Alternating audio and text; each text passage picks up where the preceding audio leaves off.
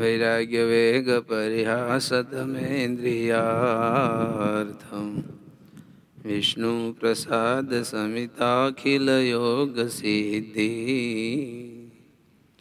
कृष्णाङ्कृपासनबलाप्तदृढात्मनिष्ठम् तं विष्णुदत्ततनयं स्वगुरुं नमामि ઓમ શ્રી સ્વામિનારાયણાય નમો નમઃ શ્રી હરિકૃષ્ણાય નમો નમ. શ્રી સહજાનંદ સ્વામીને નમો નમઃ. વાલા હરિભક્તો શ્રીજી મહારાજે વચનાવતમાં એક વાત કરી છે કે કોઈ માણસ સમાધિમાં જાય, સમાધિમાં, તો કેટલી શાંતિ વર્તે?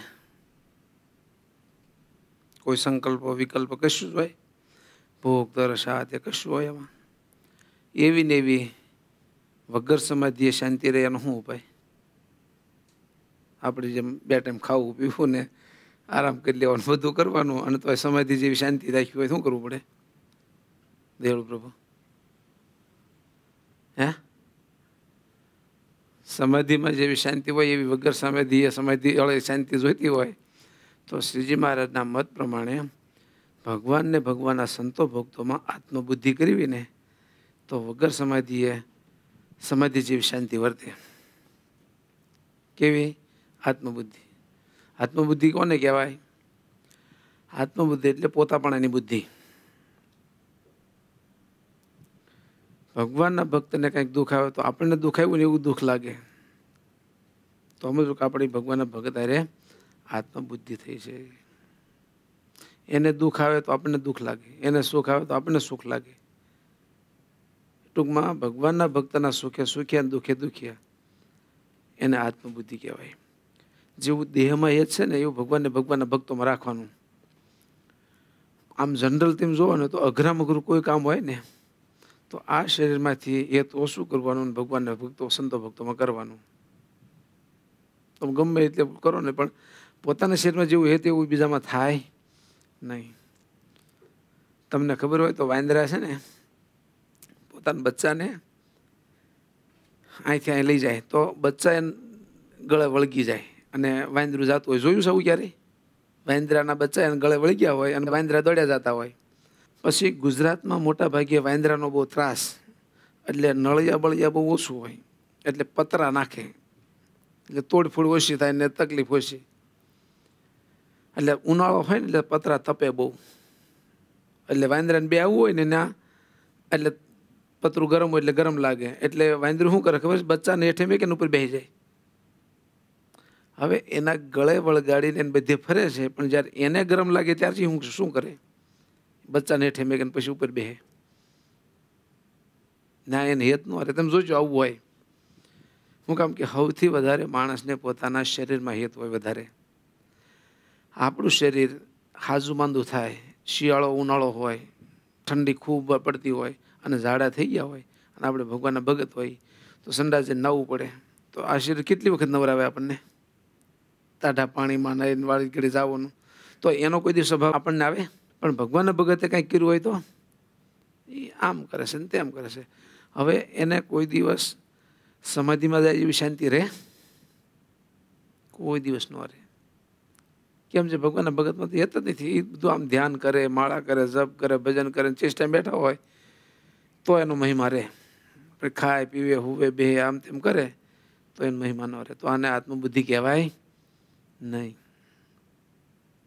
અને હકીકત સત્સંગ એને જ થયો કહેવાય કે આપણે ભગવાનના ભક્તોમાં આપણને હેત થાય, એનો અભાવ ગુણ ન આવે, એનો મહિમા રહે, એની નિષ્ઠા રહે. એનામાં દોષ ન દેખાય. આપણે શું સમજાય કહો જોઈએ હવે ખાલી અમથું એક દ્રષ્ટાંત આપું કે બહાર ગયા મુંબઈ, મુંબઈથી કે નથી બધા કોઈ ગરીબ ભક્તો આવ્યા હોય તો આપણને એનો કેટલો મહિમા હોય? હે? પણ અહીંયા હોય એનો. આપણે કાંઈક કામકાજ કરતા હોય અથવા આપણી સેવા હોય તો મદદરૂપ આવડા બધા થતા હોય. ઓલા થાય? ઓલા એક દિવસ બે દિવસ વ્યાજ આવવાના હોય તો એનો મહિમા ખૂબ થાય. અને અહીંયા હોય એનો મહિમા ન થાય. પણ જેનો આપણને મહિમા નથી એ માણસ અહીંથી મુંબઈ જાય તો? એના મથેળીમાં રાખે ને? કે ન રાખે? આમાંથી કોઈ દાદા મુંબઈ ગયા ત્યારે કંઈક બીમારી છે ત્યાં જવું પડ્યું, દાખલ થવાનું હતું. તો હરિભક્તોને કેમ રાખે? અને જેનો આપણે અહીં અવગુણ લઈએ છીએ, અભાવ લઈએ છીએ, આ બરાબર નથી, આ નથી, તે નથી કે હો ખોતરા કાઢીએ છીએ. તો એને એટલો મહિમા થયો અને આપણને ન થયો એનું કારણ શું? કારણ કે ઉપયોગમાં ક્યારેક આપણે મદદરૂપ આપણને એ થતા હશે. થાય કે ન થતા હોય? પણ તો આપણને એનો જરા કે સ્વભાવ જોયો એટલે ફાવે નહીં. જરા કે સ્વભાવ જોયો એટલે ફાવે નહીં. તો આપણે દિવ્ય બુદ્ધિ કેવી રીતે કરી શકશું? મહિમા કેવી રીતે રાખી શકશું? એને રેત કેવી રીતે રાખી શકશું? એક ચોખ્ખો સિદ્ધાંત છે કે ભગવાને આપણને જેવા ભક્તો સંતો આપ્યા હોય એ એના સ્વભાવ, પ્રકૃતિ હોતા તેને સ્વીકારી લેવાના. અને મુક્ત મારવાના તો જ મુક્ત માની શકીએ. બાકી એ મુક્ત કોક દીક થશે, બધા સ્વભાવ ટાળી નાખશે, બધા દોષો ટાળી નાખશે અને પછી આપણે એને મુક્ત માનશું. આપણી જિંદગીમાં કોઈ દિવસ ચાન્સ નહીં આવે. એક પણ માણસ એવો નહીં મળે આપણને કે મુક્ત થઈ ગયો એટલે હવે એના વિશે આપણને મુક્ત બુદ્ધિ થઈ. પણ જે ભગવાને આપણને આપ્યા છે ને એ મારા કલ્યાણ માટે, મારા મોક્ષ માટે આ આ જ આપ્યા છે. અને આના સંગે જ મારે ભગવાનને પામવાનું છે. એના થકી જ મારે મુક્ત થવાનું છે. એમ માનીને જો આપણે કરી શકીએ તો આમાં મુક્ત બુદ્ધિ થશે. કોઈ દિવસ મુક્ત બુદ્ધિ થશે, દેહ બુદ્ધિ જ રહેશે. એને નાની મોટી ક્રિયા દુનિયામાં થશે, કાં તો આમ છે, ના તો આમ છે. માટે જો એને હટાવવું હોય, તો આપણા શરીરમાં જેવી આપણને પ્રીતિ છે, એવી ભગવાનને સંતો ભક્તોમાં કરી જોશે, તો થશે. પણ આપણને હેત બુદ્ધિ કોની વિશે થાય ખબર છે? આપણા કોઈક વખાણ કરતા હોય, આપણને કોઈ અડે નહીં. આપણને એટલે આપણા શરીર નહીં, આપણા સ્વભાવને. આપણી વાસનાને, આપણા દોષને અડે નહીં ને, એને એમ થાય, આ રાણા સાહેબ બહુ સારા, કોઈ દી તમારા ગરીબ ગાય જો કોઈ બોલે જ નહીં. તો હવે એમાં તાત બુદ્ધિ થાય જ ને. પણ રાણા સાહેબ કોઈ દી એમ કડે ચડાવે તો? મેરી ભગત તેને હું આ માંડ્યો છો? એમ કીધું હોય તો? તો તરત એનો અભાવ. હવે પહેલાં પ્રથમ એવું નક્કી કરો છે આપણે ભગવાનને પામવું જ છે?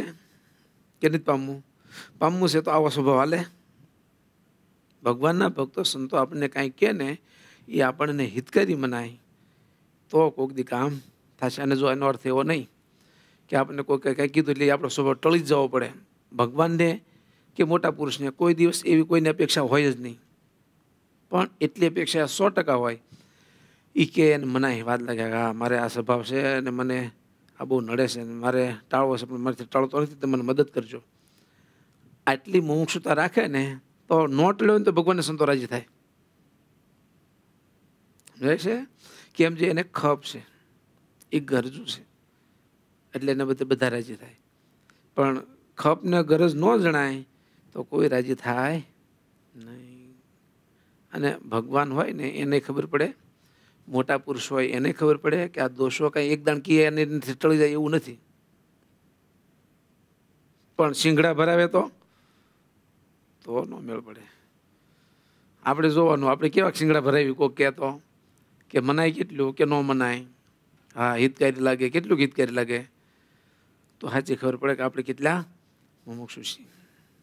ન કહો તો ભગવાન, મોટા પુરુષો, કથા, વાર્તા, સત્સંગ, ચરિત્રો, આ તે બધું સાંભળીએ. આ કાને સાંભળ્યું આ કાને કાઢી નાખવાનું આ કાને સાંભળ્યું આ કાને કાઢી નાખવાનું. પણ જે કાંઈ આપણા અંગનું આવે, આપણે કરવા જેવું લાગે ને એમાં આપણને એવું લાગે, આ ખોટ મારે છે. કોઈ કેક ન કહે પણ મને ખબર પડે કે મારી ખોટે છે, તો આપણે સુધારો પ્રયત્ન નૈતિકતાના ધોરણે કરવો પડે. પછી ટળે, આજ ટળે, કાલ ટળે પાંચથી પંદર વર્ષે, બે વર્ષે, ગમે ત્યારે ટળે, એ ભગવાનને જોવાનું. પણ તમે એના પ્રયત્નમાં છો ને, તો ભગવાન રાજી થશે મહારાજ કે એક લડવા નિસર્યો, એને આગળ આરબને એની બધાની બે રખાવી સામે આવી. તે શત્રુનો હટાવ્યો હારી ગયો. અને કોકને તો વાણિયા બ્રાહ્મણ આવ્યા હતા, તે એને જીતી ગયો. તો એના ધણી નહીં જાણે કે એને તો આરબની બે રખ જેવા માણસો આવ્યા હતા. મહેનત ઘણી કરી, પણ ઓલા બળિયા હતા એટલે હારી ગયો. તો એને ધણી બધી નોંધ લે. લે ન લે. એમ આપણને કદાચ માનો કે કોઈક આપણા સ્વભાવ થોડાક આકરા હોય. તો આપણે લડ્યા, પણ ન જીતી ગયા. તો ભગવાન જાણે કે એણે મહેનત તો ખૂબ કરી છે. એટલે ભગવાન એને સો ટકા પાસ કરે અને ભગવાનના ધામમાં લઈ જાય.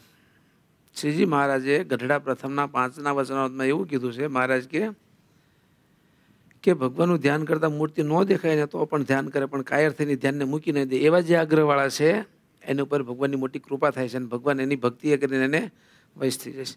જો, જેને અખંડ ધ્યાન થયા કરે, એને ભગવાન વૈશ થઈ જાય એવું લખ્યું પણ એ ધ્યાન કરવાનો પ્રયત્ન કરે છે, સંકલ્પ ખોટા કરવાનો પ્રયત્ન કરે છે અને ધ્યાન નથી થતું. તો એ રોજ બેસે અને કલાકનું નિયમ હોય તો રોજ કલાક બેસે કંટાળે એવું કાંઈ નહીં કરતાં સેવા કરવી સારી એમ કરીને આ ઊભો થઈને સેવા કરવા એવું નહીં. નથી ધ્યાન થતું, તો પણ ધ્યાન કર્યા જ કરે, કર્યા જ કરે. મહારાજની આજ્ઞા છે ને, ધ્યાન કરે, કારણ શરીર ચોખ્ખું થાય, કારણ શરીર ટળી જાય. તો ભગવાનની આજ્ઞા છે આપણે કર્યા કરીએ. ધ્યાન થવું, ન થવું, એ ભગવાનના હાથની વાત છે. પણ આપણે પ્રયત્ન કરવો એ આપણા હાથની વાત છે. એમ આપણે કોઈ થયું? કોઈ પણ સેવા આપણે કરતા હોય ને, એમ થાય કંટાળો સડે ને તો કાંઈ નહીં આવે તો બીજું કરીએ. એકને એક વસ્તુ આપણે કરી શકતા હોતા નથી. એટલે કોઈ દિવસ કોઈ રાજી થાય નહીં. આપણને હવને સંકલ્પો થાય છે કે નથી થતા? ગુંડાઘાટ થાય છે કે નથી થતા? ગુંડાઘાટ કોને કહેવાય ખબર છે? સ્ત્રી ભોગવવાના કે બીજા ત્રીજા ખાય એવું નહીં. ભગવાન સિવાયના કાંઈ પણ સંકલ્પો થાય નહીં બધા ગુંડાઘાટ જ કહેવાય. અને એ આપણને અંતરમાં શાંતિ રહેવા ન દે. સ્વામિનારાયણ ભગવાનનો સિદ્ધાંત છે. વચનામતમાં એક વાત આવે છે. ક્યાં વચનામતમાં આવશે એ તો બહુ ખબર નથી, પણ એક વાત આવે છે કે આપણે કંઈક ભજન ભક્તિ સેવા કરી છે એમાં ક્યારેક જો એવા ઘાટ સંકલ્પ થવા માંડે, તો ઉચ્ચ સ્વરે કરીને ભગવાનનું નામ લેવું, સ્વામિનારાયણ સ્વામિનારાયણ સ્વામિનારાયણ, સંતો, ભક્તો સંભાળવા, તો તત્કાળ ઘાટની નિવૃત્તિ થાય. લખ્યું છે આવું? એક વચનામતમાં આવે છે. લગભગ લોયાનામાં કંઈક આવે છે કોઈક જગ્યાએ. તો આપણને ઘાટ નડે છે એ પાકું આપણે ટાળવા છે એ પાકું કે ઘાટ કોઈ દિવસ થતા જ નથી? થાય છે. તો આપણે ટાળવા છે? બરાબર. મહારાજે આ ઉપાય કીધો છે, આપણે કર્યો કોઈ દિવસ ઉપાય? પછી એમાં એવું લખ્યું છે નિર્લજ થઈને ઉચ્ચ સ્વરે તાળી વગાડીને કેવું? એવું લખ્યું છે. શું લખ્યું છે? નિર્લજ થઈને ઉચ્ચ સ્વરે સ્વામિનારાયણ સ્વામિનારાયણ સ્વામિનારાયણ નામ લ્યું. સંતોના નામ લેવા પર્વતભાઈ આદિ ગહન સંભાળવા. તો એ ઘાટની નિવૃત્તિ થાય. આપણે જો ઘાટની નિવૃત્તિ કરી હોય, તો આ ઉપાય કોઈ કર્યો? કોણે કર્યો? હું કરો હાલો. કોઈ કર્યો હોય કોઈક દાડો જિંદગીમાં? કે આ ઉપાય મેં એક દાણ કરેલો. અને પછી ઘાટ નહોત પડ્યા, એટલે પછી બંધ કર્યું. હું આ ઉપાય કર્યો, પણ તો ઘાટ બંધ ન થયા, એટલે પછી ઉપાય કરવાનું જ બંધ કરી દીધું. ભગવાનને જે ઉપાય આપેલો હોય ને, કોઈ દિવસ ખોટો પડે જ નહીં. સો ટકા એમ થાય થાય ને થાય. કોઈ કરનારો જોઈએ એમ. શું? એચ ટુઓ ભેગું થાય ને એટલે પાણી બને બને ને બને જ. ન પાણી બન્યું તો કોક મિશ્રણ કંઈક ઘટે છે એટલે પાણી ન બન્યું. એવું જ હોય ને, ભાસ્કરભાઈ? કેવું હોય? એવું જ હોય. આપણે ભગવાનને બતાવેલો ઉપાય કરીએ એટલે એમ થાય થાય નથી પણ આપણે ઉપાય કરનારા કોક જોઈ. હવે આપણને શાંતિ કેવી રીતે થાય? થાય? કારણ કે આપણે ઉપાય કરતા ઉપાય કરતા શું? નહીં કરતા હોય એવું નહીં. પણ કાંઈક ઊંધો ઉપાય કરતા શું જે ભગવાને નથી કીધો, કોઈ શાસ્ત્રમાં નથી કીધો, કોઈ મોટા પુરુષે નથી કીધો, એવો બસ કરતા હોય પાછો. ઉપાય ન કરતા હોય ને આપણે ઘાટ ટાળવા જ હોય પાછા. ઘાટ આપણને ગમતાય ન હોય.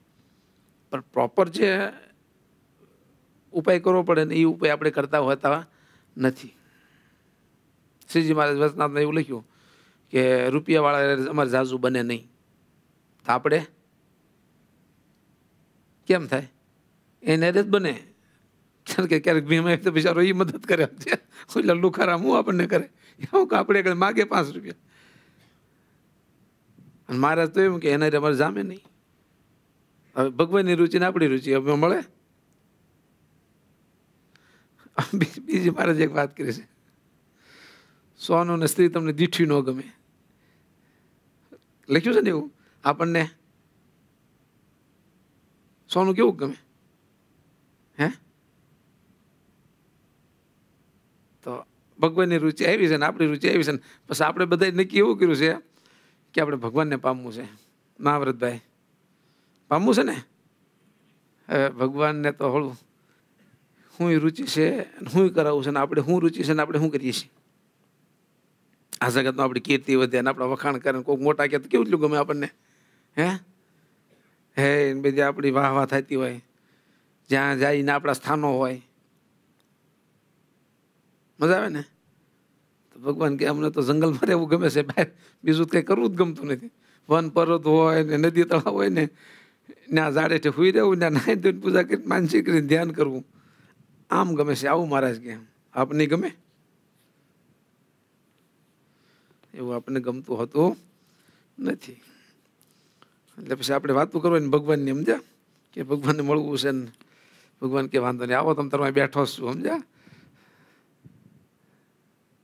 જ્યારે તમારે નવરાય પડો ને ત્યારે આવજો. હું મારા બેઠો છું. જીગરભાઈ, અમેરિકા વાળા કથા બહુ સાંભળો છો પણ. ધન્યવાદ છે ને. આપણે અહીંયા દસ વાગ્યે પૂરું થાય છે ને, તો હવે છ વાગ્યે દસથી છ કેટલા કલાક થાય? છ બે, આઠ. આઠ કલાક એને દિવસ હોય, તો સાંજે પછી આપણે પહેલાં આવી ગયા હોય પાછા. હે?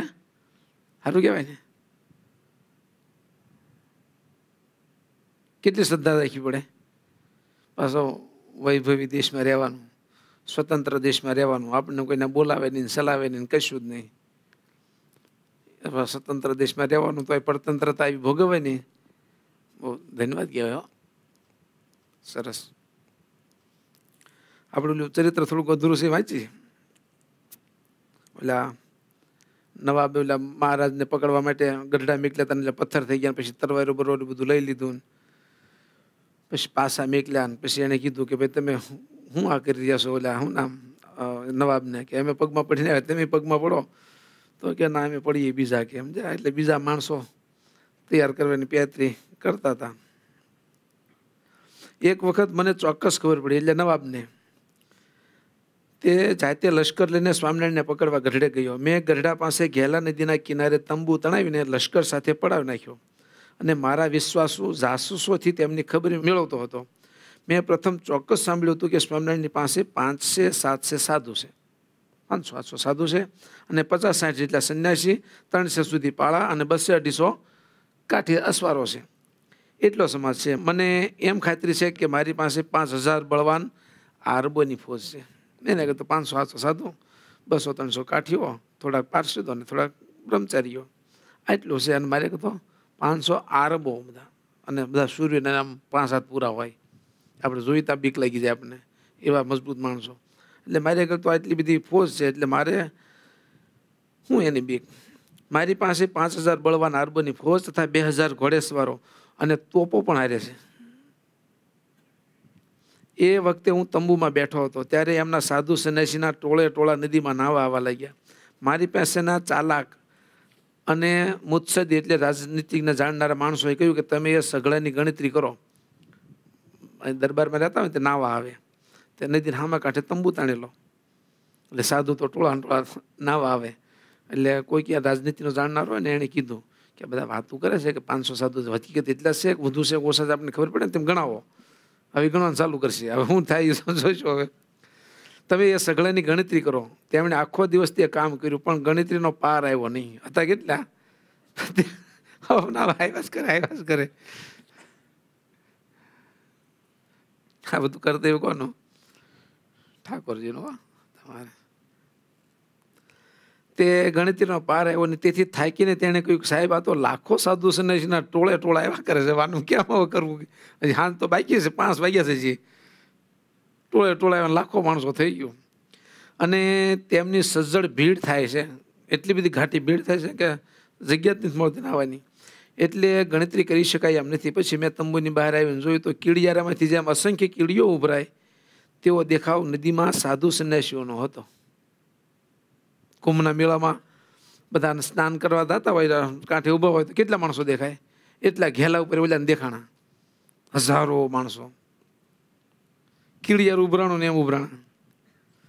તેમનો વિસ્તાર પૂર્વ તરફ અડતાળું ગામ અને પશ્ચિમ તરફ માંડવધાર દક્ષિણ તરફ ગુંદાળું અને ઉત્તર તરફ ઉગામેડી સુધીનો ઘેરાવામાં બધા માણસો જોયા. સાધુ, સંન્યાસીઓ સાધુઓ સાધુઓ જોયા.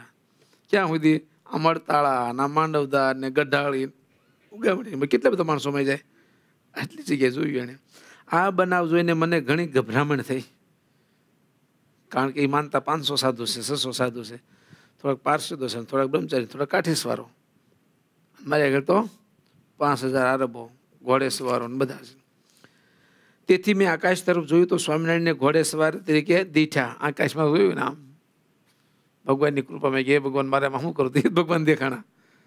ઘોડે સવાર ઉપર સમજા તેમણે જરિયાની ભારે પોશાક પહેરેલો હતો. તેઓ બીજા હજારો કાઠીસવાર સાથે દળ વાદળ પેઠે ચાલ્યા જતા હતા. આકાશમાં ઉડ્યા જતા હતા. હજારો પારસીદો ઘોડે સવારો બધા. મને વિચાર થયો કે આ તે ગંધર્વનગરની પેઠે મિથ્યાભાસ થતો હશે કે કેમ હશે? આ થોડું આવું થોડું હોય. હજારો સૈનિકો કાઠી દરબારો આમ હાલ્યા જાય. આ પૃથ્વી પર તો બધા છે પણ આકાશમાં એટલા બધા. એટલામાં એ સ્વામિનારાયણ પોતે જ ગંભીર અને મધુર વાણીથી બોલ્યા કે, દિવાનજી, એ મિથ્યાભાસ જાણશો ને? આ વાસ્તવિક છે. હું આ મિથ્યા આભાસ નથી.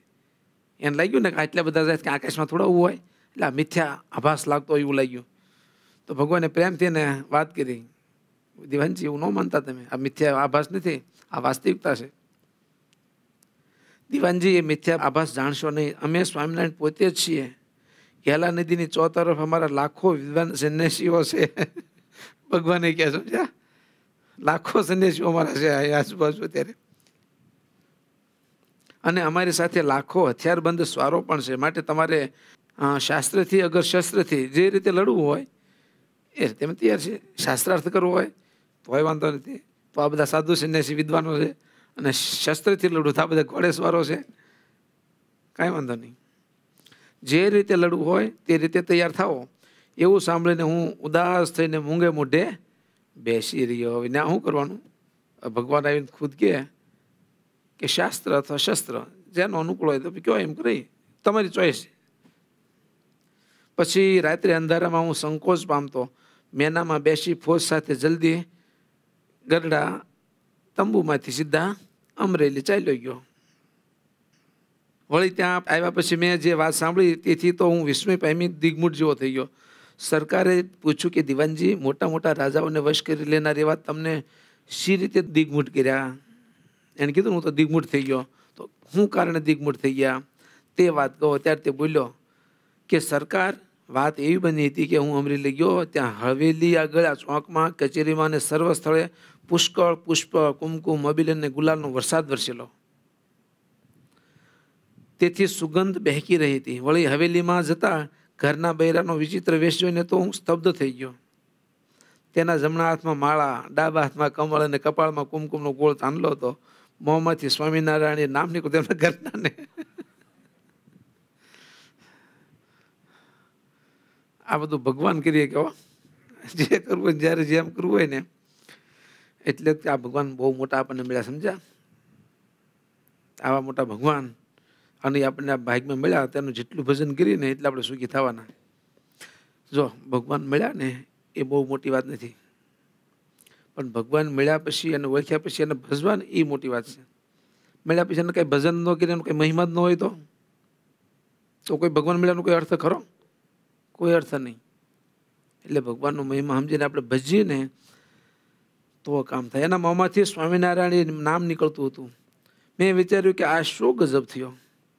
શાક્ત પંથના અગ્રણીના ઘરમાં દેવીનું ભજન પડતું મૂકીને સ્વામિનારાયણનું ભજન કેવું? હું બે દિવસ ગરડે ગયો એટલામાં બાયડી ભક્તાણી થઈ ગઈ. બે દી સ્વામીને પકડવા ગયો, તો બાયડી તો કે ભક્તાણી થઈ ગયો મારે શું કરવું?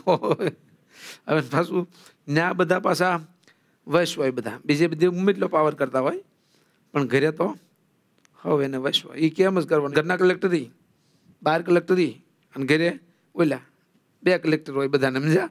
એક પોતાના શહેરનો કલેક્ટર ને એક ઘરે કલેક્ટર એટલે બધાને બે બે કલેક્ટરના હુકમ માનવાના. ગરડે ગયો એટલે આમાં બાયડી ભક્તાણી થઈ ગઈ. ઘરમાં કોઈ ભગતડું પ્યાસવાથી ઘર વીંઠું કે શું? આ શું કોઈક બીજું ભગતડું અંદર ગીરી ગયું અને આને ભક્તાણી કરી નાખીએ શું થયું આ બધું? પછી મેં તેને કહ્યું કે આ તો આપણે કાળીના ભક્તને ત્યાં કાળો કેર કહેવાય, એના ઘરનાને કીધું. આપણે માતાજીના ભગત અને આ સ્વામિનારાયણનું ઘરમાં આપણે ભજન થાય તો કાળો કેર થયો કહેવાય. ત્યારે તેણે કહ્યું કે તમે ગરડે સ્વામિનારાયણને પકડવા ગયા તે પછી થોડી વારે દેવઘરમાંથી માતા બોલ્યા કે, અરે તુળજાભાઈ તમારા પતિ સ્વામીને પકડવા ગયા છે, પણ તે તો હજારો સ્વારો સહિત હમણાં આકાશમાં ફરે છે, એને પકડી નહીં શકાય. તમારા પતિ સ્વામિનારાયણને પકડવા ગયા છે, પણ સ્વામિનારાયણ તો હજારો સ્વારો સાથે આકાશમાં વિહાર કરી રહ્યા છે. તે તમારા પતિને પકડીને પાતાળમાં ખોસી દેશે. એ પકડવા ગયો છે, પણ આ માતાજી એની પર કૃપા કરી કે, તમારા પતિને સમજાવજો ને કે તમે દશા આ થશે. એ તો પ્રત્યક્ષ ભગવાન છે. માટે તમે ઉતાવળા ગરડે જઈને ત્યાંના લક્ષ્મી બાગમાં રાધિકાજી તથા લક્ષ્મીજી પોતાની સખીઓ સાથે ગરબા ગાય છે. તેમના દર્શન કરીને પ્રાર્થના કરજો એને. એનું ભગવાન માન છે લક્ષ્મીજી દાદાજી બધીના અત્યારે રાસ લેવા આવ્યા છે. એટલે તેમ પ્રાર્થના કરશો અને સ્વામિનારાયણ ભગવાનને કહે છે, એટલે તમારા પતિને નહીં પકડે પાતાળમાં નહીં નાખી દે. પછી તે કહે તેમ કરજો, તમારા પતિ ક્ષેમ કુશળ તો ઘેર આવશે, નકર ઘેર આવશે નહીં. જો માતાજીના ભગત હશે, તો માતાજી કેટલું ધ્યાન રાખે છે? કે ભાઈ જો તમારા પતિ જીવતા રાખવા એના કંઈ ન થવા દેવું હોય તો આમ કરો તમે. તો તમારો પતિ રહેશે નકર નહીં રહે. પણ જો એને સદમતી હશે તો એને મનાશે. સદમતી નહીં હોય એ માતાજીનું ભજન કરે છે. બધું હાસું એના ભક્ત ખરા, પણ એનું માન છે નહીં.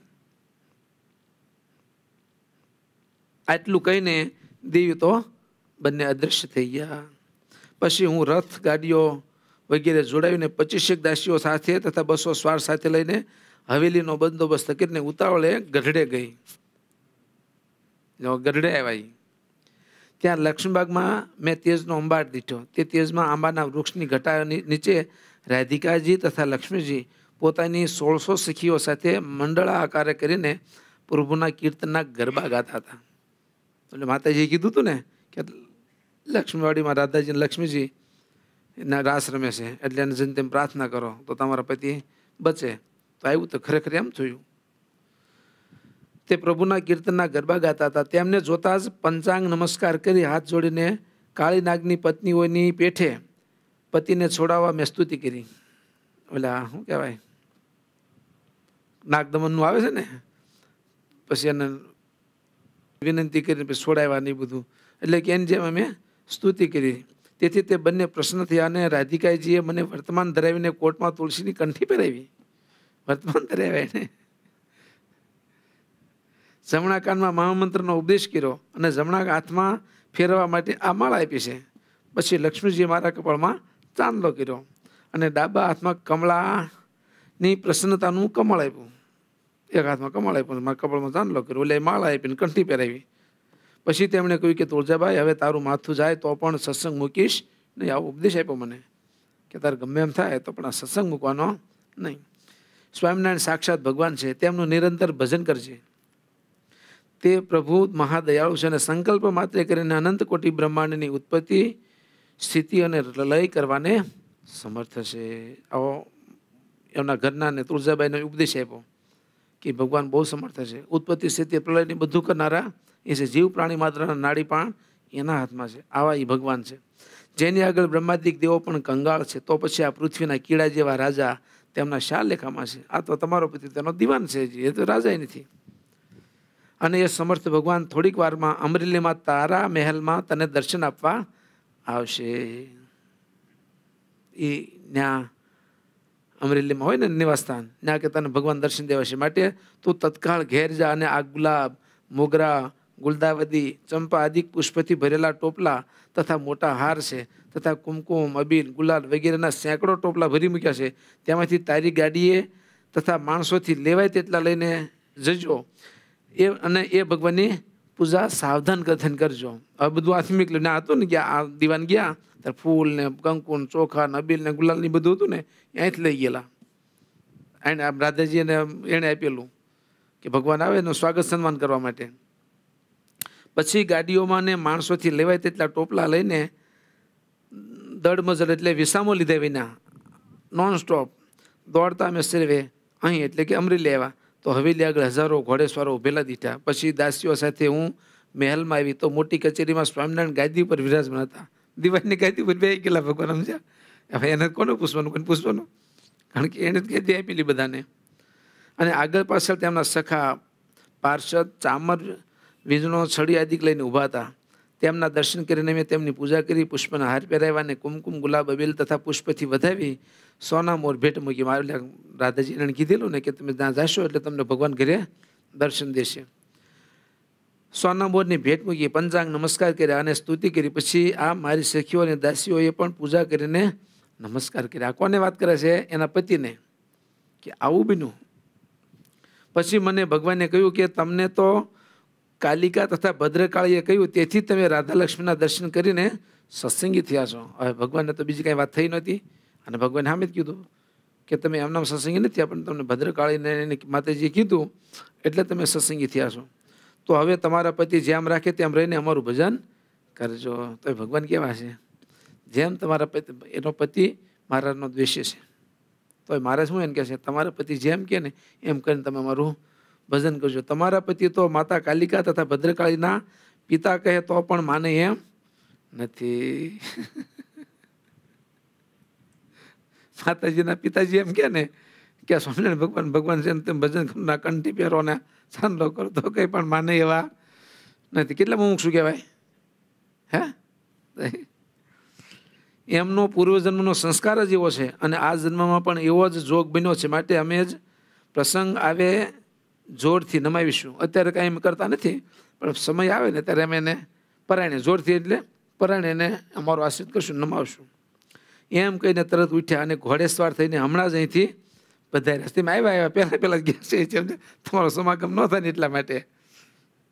એટલે હમણાં જ ગયા કહે છે એ બધી વાત સાંભળીને હું તો આભો જ બની ગયો. આ દિવાનજી રાજાને કહે છે, આ તે કેવી ઇન્દ્રજા? કે મૈદાનવની એટલે મૈદાનવે કરેલી છે કે કેવી છે, શું છે એમ? ગમે તે કહો, પણ ઘર ફૂટ્યું તે કર્મ ફૂટ્યું, જાણવું? હવે મારું ઘર ફૂટ્યો મારે શું કરવું કહો હવે? બૈરું હરી ભગત એ રોજ ભગવાનને થાળ કરે અને ધરાવીને પછી મને આપે મારે શું કરવું? અમારી મેથી ફરી જાય બીજું કંઈ થાય? પણ ઘર ફૂટ્યું તે કર્મ ફૂટ્યું, તેવું મારે થયું છે. હું સ્વામિનારાયણને પકડવા કે કેદ કરવાના ઉદ્યમમાં વળગ્યો, તેટલામાં મારું જ ઘર ગોઝારું એટલે કે અપવિત્ર થઈ ગયું. ભગવાનની પધરામણી થઈ ગઈ એટલે અપવિત્ર થઈ ગયું. હે? ભગવાન સાક્ષાત એને આવી ગયા. અહીં પૂજા કરી, અમે આ બધું કરી ગયા. એટલે તે મારું કરતો અપવિત્ર થઈ ગયું. હવે શું કરવું? એનો કાંઈ અત્યારે ઉપાય સૂઝતો નથી. કેવા દુર્ભાગ્ય જીવ કહેવાય હકીકત પોતાના ઘરના જ ચોખ્ખી વાત કરે છે કે આવી રીતે ગરડે ગઈ ને આવી રીતે થયું ને ત્યાં ફૂલ લાવ્યા ના પૂજન કર્યું એણે મને એવું કીધું કે તમે જાશો ત્યારે ભગવાનના તમને દર્શન થશે તમારા ઘરે જ. અને બધું સાચું ઠીર્યું. તો પણ એને વાત સમજાતી નથી. આપણે કોઈક વાતમાં મતો બંધાઈ ગયો હોય ને, તો હકીકત કોઈની સાચી વાત હોય ને એ પણ આપણે સ્વીકારી ના શકીએ. એને કોઈ સ્વાર્થ ન હોય. કોઈ રાગ દ્વેષ ન હોય. એ કોઈક ખાલી એને લાગતું હોય આપણને કહેતા ભાઈ, આમ ન કરી આમ કરી સારું. તો આપણને મનાય નહીં. કારણ કે આપણું મન અત્યારે બીજે કંઈક ભટકી ગયું છે. કાં કોઈને એવી મિત્રતા થઈ ગઈ છે. કાં પૂર્વનો આમાં કીધો ને એવો જીવ છે, જે ભગવાન સન્મુખ ક્યારે થાય જ નહીં. તો સાચી વાત સમજાય. નહીં. રાવણને મંદોદરી એટલે એના ધર્મપત્ની. અને એ સતી હતા, એ ખબર છે ને? એ સતી હતા. એણે કેટલું સમજાવવા કર્યું? કે રામ તો ભગવાન કહેવાય. એના આપણે યુદ્ધ ન કરે, કરી તો આપણે પોગીએ નહીં. પણ એનું મનાણું? હે? ન મનાણું. એના હગ્ગા ભાઈ, એણે સમજાવ્યું તો એનું સમજાણું. એના ભાઈને ધોકો દઈને કાઢી મૂક્યા. કે તું તારી જેવામાં અમારા કામ જ તેમ કરીને કાઢી મૂક્યા. વિભીષણને. તો એ તો ભક્ત હતા, એનું માયને આવત પણ જે આપણે કોઈ લાગે વળગતું નથી, એને પોતાનો કંઈક સ્વાર્થ હશે, એને લઈને આપણે સાથે જોડાયેલા હોય, એ આપણે બે પંપ મારે અરે પણ આપણે તે નમાતું છે. તમારી આગળ તો આમ સામર્થ્ય છે તમારી આગળ તો આમ સામર્થ્ય છે. તમારી આગળ તો આવા વરદાન છે તમારી આગળ આવા વરદાન છે. બે પંપ મારી દીધા. એટલે હવે આપણે જેમ દડવા એમ દડીએ ને, કે ન દડીએ? એને શું હોય? એને કશું જ ન હોય. એટલે આપણા જે હિતે શું હોય, એ આપણને કે આપણને વાત મનાય તો આપણે ક્યારેય દુઃખ આવે. હિતોપદેશમાં એક વાત આવે છે કે આ ત્રણ વાનું થાય આપણેથી તો સમજવું કે આપણું હવે નિશ્ચય મૃત્યુ આવ્યું. શું? આ ત્રણ વાનું થાય. અથવા ત્રણ વાનું એક, ત્રણેય વાનું એમ નહીં. ત્રણમાંથી એક પણ થાય. તો પણ સમજવું કે આપણું મૃત્યુ નજીકમાં છે જાજદી આપણે હવે નહીં રહી. કયા ત્રણ વાના? તો એક તો દીવો કર્યો ને આપણે, દીવે, દીવો કર્યો હોય. ઓલાઈ જાય, પછી એનો ધુમાડો નીકળે. એને જો સુગંધ ન આવે, તો સમજવું કે આપણું મૃત્યુ નજીક છે. તો કારણ દીવો ઓલવાય છે ને વાઈટ વારથી પછી જવાનું, જો સુગંધ ન આવે તો સમજી લેવાનું. ભજન પરાયણ થઈ જવાનું. બિપિનભાઈ, ભગવાનની આરતી થાય ને, પછી ઓલવાઈ જાય ને, એટલે ત્યાં જરાક ઘડીક જવાનું. સુગંધ આવે છે કે નથી આવતી આવે તો સમજવાનું, કાંઈ વાંધો નથી. ન આવે તો સમજવાનું કે કંઈક તૈયારી કરી હાલો.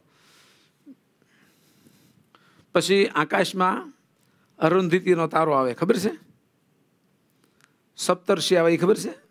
સપ્તર્ષિના ચાર તારા હોય, પછી ત્રણ પૂછડામાં હોય. એટલે પહેલું તારો પૂછડાનો અને બીજો વચલો તારો આવે ને એની બાજુમાં એક તારો આવે. એને અરુંધતીનો તારો કહેવાય. એ ન દેખાય તો સમજવું જો ચશ્મા આવ્યા હોય તો ન દેખાય તો પછી ચિંતા ન કરવાની. આપણે તમે કે ચશ્મા આવ્યા દેખાતું નથી તો એ નહીં. ચશ્મા પહેરીને જોવાનું ચશ્મા હોય એને.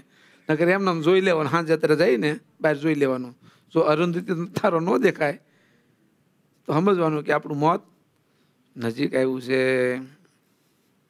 હવે તીર જે વધારે પડતું આપણને લાગુ પડે એવું. આપણો જે હિત્ય છે, સુહૃદ કહેવાય. એ આપણને કંઈક કે અને ન મનાય. એટલે અર્થાત મિત્રનું વાક્ય સત્ય ન મનાય તો સમજવું કે આપણું મોત નજીક છે. આપણા હિતે શું કોઈ હોય ને, એ આપણને કે સાચી સલાહ આપણને આપણે માટે આપે. અને આપણને જો ન મનાય તો સમજવું કે આપણું મોત નજીક આવ્યું. હિતોપદેશમાં લખેલું છે. આ બધા આપણા હિતે શું કહેવાય? કહેવાય ને? એમાંથી કોઈ આપણને કાંઈ કહે કે ભાઈ, રામજીભાઈ, આપણે આવું થોડું કરાય? તો આપણે હું હતું પરિસ્થિતિ હું તમને ખબર છે? ડાપણ કરી સીધો. એમ તો થઈ ગયું. તો શું કે આપણે હવે મોત નજીક આવ્યું છે? દયાળુ પ્રભુ, કેમ થશે? આ બધા આપણા સાચા હગા ને અને હગા એટલે આધ્યાત્મિક માર્ગના હગા. દેહના સંબંધી હગા એમ નહીં. આ આપણા મોક્ષના હગા છે. ભગવાનને પમાડનારા છે. એવું એમ જો આપણને દર્શન થાય ને, તો આપણું કોઈ દી મોત ન આવે. એવા સુખી જીવન જીવી કે એની વાત જવા દો. મરવાના થયા મરે કોને કે ખબર છે? મહારાજ કે, ભગવાનના ભક્તને દેહ કરીને મરવું એ મૃત્યુ નથી. એકાંતિકના ધર્મમાંથી પડવું એ એનું મૃત્યુ છે. એકાંતિકનો ધર્મ શું? તો ધર્મ જ્ઞાન વૈરાગ્ય ભક્તિમાંથી પડ્યો એટલે એનું મૃત્યુ થયું. આપણે કોઈ ભગવાનના ભક્ત ન માન્યા અને એનો ભાવ ગુણાયો ને આપણે સત્સંગમાં છેટા વ્યા ગયા, એટલે સત્સંગમાં મૃત્યુ થઈ ગયું કે ન થઈ ગયું? ધર્મમાં પડી ગયા એટલે મોત તો થયું ને? અને એને સાચું મોત કહેવાય. ઓલું મોત તો અમુક સારું કહેવાય, આપણને ભગવાનના ધામમાં લઈ જાય. શરીરનું આયુષ પૂરું થઈ જાય. અને જે દેહ પડે, એ તો ભગવાનના ધામમાં લઈ જાય આપણને. પણ આ તો સંસ્કૃતિમાં ધકેલી દે. માટે આપણને જે મળેલા સંતો ભક્તો છે ને બિપિનભાઈ બહુ સારા ભક્તો મુક્તો મળ્યા છે. એનો મહિમા રાખીને જેમ કેમ કરીએ ને, એની વાત માનીએ એને મદદ કરીએ. આપણને જરૂરત એ કરે ને એને જરૂરત આપણે કરીએ. એકબીજાને એકબીજાની હુંફે બળે, એની ખોટ આપણને ન ફાવે ને આપણી ખોટ એને ન ફાવે. એની ભૂલ આપણી ભૂલ કહેવાય ને આપણી ભૂલ એની ભૂલ કહેવાય. અને સત્સંગના ભાઈઓ તરીકે બધાનું આપણે હિત કરતા રહીએ. અને એ આપણને કંઈક કહે તો એ આપણે હિતકારી માનતા રહીએ. તો સત્સંગમાં કોઈ પ્રશ્ન આવે એવું નથી. આજ આપણો સત્સંગ એટલો બધો દિવ્ય છે અને એટલો બધો સારો છે કે આ યુગમાં જો કોઈ થોડું ખરું સમજીને જીવી જાય ને, તો પછી બીજો જન્મ જ ન કરવો પડે. આ છેલ્લો જન્મ થઈ જાય. પછી આવો યોગ ફરીથી મળશે કે નહીં મળે તો ભગવાન જાણે. સારો યોગ મળ્યો ન મળ્યો કોણ ખબર આપણને? ખબર છે? તો જેટલી કંઈ આયુષ્ય આપણી બાકી હોય એ ભગવાન માટે, સંતો માટે, સત્સંગ માટે, પોતાના જીવના કલ્યાણ માટે એ જો વપરાઈ જાય, તો આપણું કામ થઈ જાય. સહજાનંદ સ્વામી મહારાજની જય.